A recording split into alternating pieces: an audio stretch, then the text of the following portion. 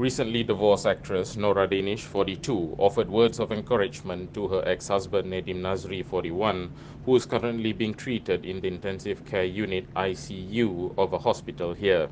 Nora expressed hope that Nedim, whom she calls Daddy, would be strong in the face of the health problems he was experiencing. Nora wrote, Stay strong, Daddy, in an Instagram story entry which featured a photo of Nedim lying in bed in the hospital. According to Harian Metro, Nedim or Mohamed Nedim Mohamed Nazri had shared that he was admitted to the ICU at a hospital here but did not reveal what he was being treated for.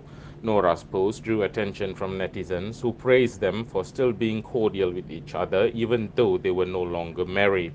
Some even described their relationship as a positive example for other divorced couples to emulate.